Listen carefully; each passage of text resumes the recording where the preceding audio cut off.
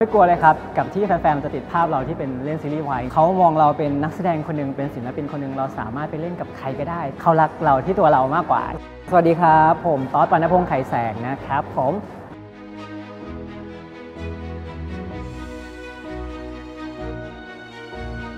เส้นทางการเข้ามาในวงการบันเทิงของต๊อดนะครับ ก็เริ่มมาจากการประกวดครับ แล้วก็เดินสายตระเวนประกวดตามทุกเวทีที่เขามี ประกวดเนี่ยครับก็ค่อยๆไต่เต้ามาเรื่อยๆ พอเริ่มประกวดก็จะคณะกรรมการก็จะเริ่มเห็นแววเรา เขาก็จะเชิญเราไปทำตรงนี้ทำตรงนี้มากขึ้น ไปเล่นหนังเล่นละครเล่นซีรีส์ถ่ายแบบถ่าย MV มากขึ้นอย่างเงี้ยครับ ก็ทำให้เราเริ่มจากจุดนั้นจนมาถึงทุกวันนี้ประมาณ 12-13 ปีแล้วครับ โชคดีที่ทางบ้านค่อนข้างเชื่อใจในตัวเราครับ เราตัดสินใจอะไรเขาก็จะ support ตลอดหมดเลยเขาไม่มีเอ๊ะไม่มีสงสัยเขาค่อนข้างที่จะปล่อยให้เราได้ลงมือเข้าไปทำแล้วก็ถ้าผลมันออกมาเป็นยังไงเขาค่อยมาแบบปลอบประโลมเราอีกทีนึงถ้ามันดีเขาก็จะ support เพิ่มเติมเนี่ยครับผลงานเรื่องล่าสุดซีรีส์วายนะครับก็จะเป็นไม่อยากจะเรียกว่าซีรีส์วายดีกว่ามันก็คือซีรีส์ทั่วไปของเออคนในยุคสมัยนี้ก็คือความรักของคนทุกคน ไม่ว่าจะเป็นชายชายหญิงหญิงหญิงชายมันก็คือซีรีส์หนึ่งเรื่องเนี่ยครับก็เป็นซีรีส์เรื่อง Venus in the Sky ห้างฟ้าห่มดาวครับฉายทางอมรินทร์ทีวี แล้วก็ไอชีอีครับเราได้อันดับ 1 3 สัปดาห์ซ้อนเลยนะครับในแอปไอชีอีใช่ครับก็จะมีแฟนไทยแล้วก็ inter fan เยอะแยะมากมายครับ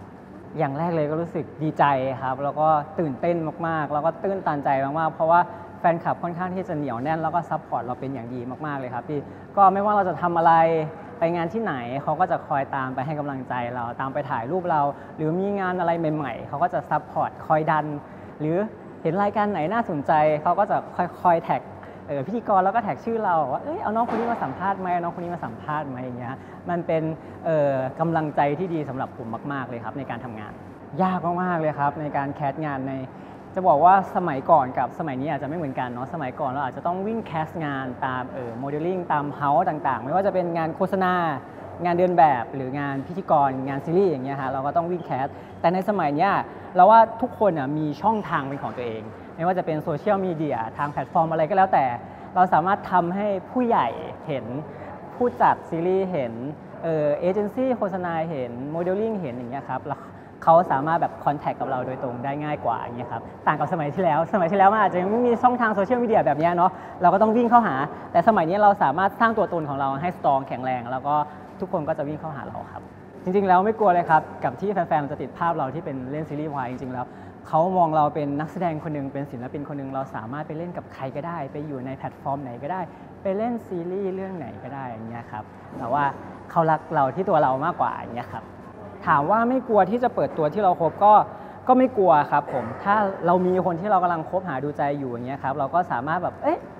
บอกได้ว่าเอ้ยคนนี้เรากำลังคุยอยู่นะกำลังศึกษาอยู่นะ เราเชื่อว่าสมัยนี้ค่อนข้างที่จะเปิดกว้างมากๆแฟนคลับ ค่อนข้างที่จะใจกว้าง แล้วก็ถ้าเรารักใครแฟนคลับก็น่าจะรักด้วยครับ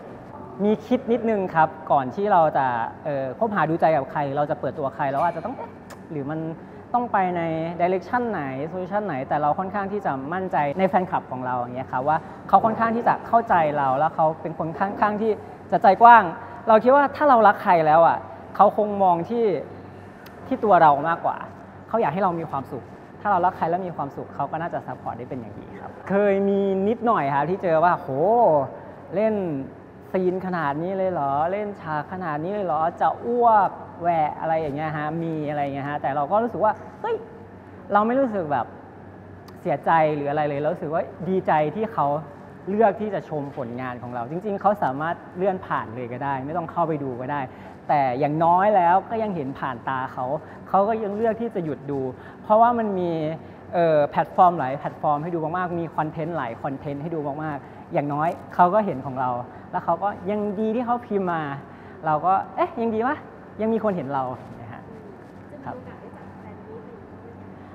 น่าจะมีโอกาสครับ เห็นแมวก็แววมาว่าจะเป็นเดือนพฤษภานี้ครับ แต่จะเป็นแฟนมิตรเล็กๆครับ เป็นกลุ่มแฟนคลับเล็กๆ ที่เขาน่าจะจัดให้ตอนงานวันเกิด ที่ประทับใจที่สุดจริงๆ ทุกชิ้นที่แฟนคลับให้อะเราประทับใจหมดเลยเนาะเขา